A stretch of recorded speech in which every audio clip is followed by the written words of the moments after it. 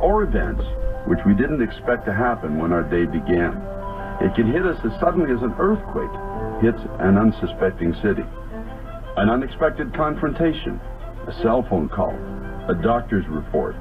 Each of them can shake our foundation and cause us to begin to inwardly crumble. However, God tells us that when our minds and our hearts are focused on the promises which He has made to us, that He will keep us in perfect peace no matter what comes our way. I encourage you to read His Word to you today, and above all, remember,